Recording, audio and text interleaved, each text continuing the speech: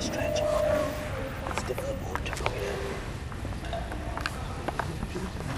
Okay, if I can just demonstrate that the spear, isn't the dove, there's any such thing. Okay, this is a real spear, is a real spike, okay?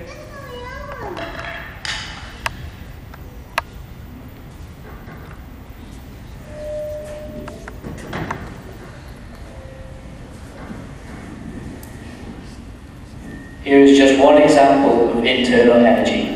Please do not try this at home.